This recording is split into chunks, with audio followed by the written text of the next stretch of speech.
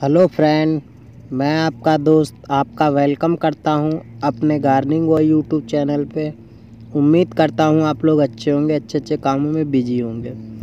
आज दोस्तों हम किचन के टमाटर से हम प्लांट उगाना सीखेंगे। कैसे हम किचन से टमाटर से हम अपने प्लांट तैयार करें। तो दोस्तों, ये हमारे पास एक टमाटर है। आज हम इसी से ही कुछ प्लांट उगाएँगे। तो दोस्तों, इसको हमको कट कर लेना है और टमाटर आपको जब भी लेना है तो पका हुआ टमाटर लेना है। तो इसको कट कर लेते हैं हम। तो देखिए इसमें दोस्तों, ये जो आपको सीड दिख रहे हैं, इसी को हम आज ग्रो करेंगे। तो दोस्तों, ये देखिए मेरे पास पोटिंग मिक्स है। तो दोस्तों, इसमें मैंने गार्डन सॉइल और वर्मी कंपोस्ट मिलाया है। और दोस्तों, ये देखिए, यही हमारे जो सीड हैं, इनको हम लगाएँगे इसमें। तो दोस्तों, आप भी ऐसा कर सकते हैं। अगर इसकी सीडलिंग का टाइम देखा जाए तो या तो आप मार्च के समय करें, या फिर जुलाई में। तो हम इसमें अपने सारे जो सीड हैं, ये निकाल लेते हैं। ये देखिए, इसमें काफ़ी ज़्यादा सीड है। जो भी हमारे प्लांट ग्रो होंगे उनको हम रख लेंगे। दोस्तों, ये सबसे आसान तरीका है टमाटर के सीड से प्लांट उगाने का। अगर दोस्तों मार्केट में जाएँ तो टमाटर के सीड का पैकेट काफ़ी महँगा मिलेगा हमें। इसलिए हम सस्ते में आज हम अपने रसोई से टमाटर दोस्तों, ये देखिए, हमने इनमें से जितने सीड थे, सारे हमने इसमें निकाल लिए हैं। अब दोस्तों, हमको इसको अच्छे से मिलाना है, ताकि हमारे जब भी प्लांट निकलेंगे तो वो फैले हुए निकलें। तो हम इसको अच्छे से मिला देते हैं, ताकि एक एक जो सीड है, वो हमारा अलग अलग रहे। तो दोस्तों, इसको लगाने के बाद में हमारे को इसको ऐसी जगह रखना है जहाँ पूरे दिन की सनलाइट ना मिले। तो देखिए दोस्तों, अब हम इसमें वाटरिंग कर देंगे और इसको ऐसी जगह रखेंगे जहाँ एक घंटे के लिए धूप मिले। तो हम इसमें पानी डाल देते हैं। बस हमको हल्का हल्का पानी रखना है इसमें, ज़्यादा हमें भरना नहीं है, क्योंकि इसमें मैंने जो नीचे होल होता है, जहाँ से पानी ड्रेन आउट हो जाए, वो नहीं है। इसलिए इसमें हम कम पानी रखेंगे।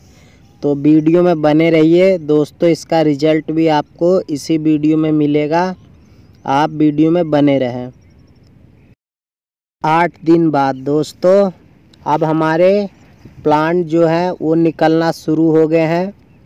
ये देखिए नए नए हमारे प्लांट जो हमने टमाटर के सीड लगाए थे, ये निकलना शुरू हो गए हैं। तो दोस्तों रिज़ल्ट तो हमें सही मिल रहा है, पर आगे देखना है। हमें रिज़ल्ट कितना अच्छा मिलता है। तो लास्ट तक इस वीडियो में आप दोस्तों बने रहिए। देखिए, शायद ये छोटे छोटे जो आप देख रहे हैं, ये हमारे सीड के बीज हैं। देखिए, अब ये निकल रहे हैं। तो दोस्तों, इसका रिज़ल्ट देखते हैं। और तीन चार दिन बाद वीडियो में बने रहिए। तेरह दिन बाद, दोस्तों, अब हमारे जो हमने टमाटर के सीड लगाए थे, उनके प्लांट देखिए, आप काफ़ी बड़े बड़े हो गए हैं और काफ़ी घने हो गए। रात में दोस्तों, बारिश हुई थी बहुत तेज़ तो हमारे कुछ जो इसमें पौधे हैं, वो हमारे डैमेज हो गए हैं। पर कोई बात नहीं, ये हमारे फ्री के ही सीट थे। तो दोस्तों वीडियो में बने रहिए, फिर देखते हैं आगे का रिज़ल्ट दोस्तों, आज हमारे टमाटर की सीडलिंग को 18 दिन हो गए हैं। अब ये ट्रांसप्लांटिंग के काबिल हो चुके हैं। अब हम इनको अलग अलग जगह पे लगा लेंगे। और दोस्तों, वीडियो कंप्लीट करने का भी समय आ गया है। तो दोस्तों, अब हम इसको धीरे धीरे इसमें से आसानी से हम अपने प्लांट निकाल लेंगे किसी भी चीज़ से। ये देखिए दोस्तों, हमको ये काम बहुत ही आराम से करना है, जिससे इसकी रूट जो है वो डैमेज ना हो। नहीं तो हमारे प्लांट हैं, वो चल नहीं पाएँगे। देखिए, इनमें जड़ें आ गई हैं बहुत अच्छे से। दोस्तों, ये देखिए, इसमें हमको एक होल कर लेना है किसी भी चीज़ से। दोस्तों, ये देखिए, जो ये आप बैग देख रखे हैं, जब हम नर्सरी से प्लांट लाते हैं तो उन्हें हमें फेंकना नहीं है, ये हमारे काम आ जाते हैं कहीं ना कहीं।